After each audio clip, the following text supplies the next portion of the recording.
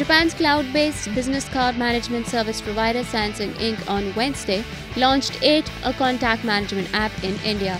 It implements artificial intelligence driven technologies and lets the users contact business connections by converting analog business card information to digital. In Japan, the app has 2 million users with 5,000 daily downloads and it also digitizes around 3 lakh business cards every day.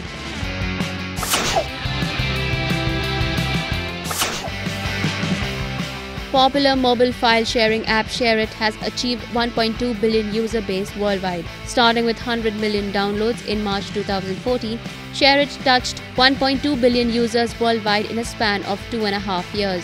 It has 30% of total user base from India and over 300 million downloads in the country.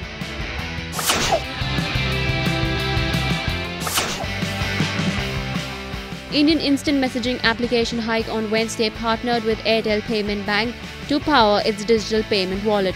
As per the collaboration, Hike Messenger users will have access to Airtel Payments Bank's merchant and utility payment services and KYC infrastructure. The messaging platform has over 100 million registered users.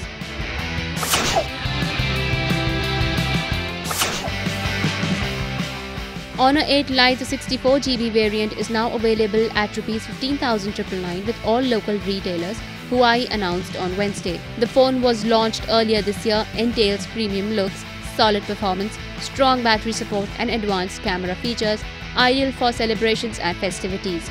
It is available in stunning black and blue colors. IANS report. Subscribe to our channel. Just click on the bell icon for all the latest updates.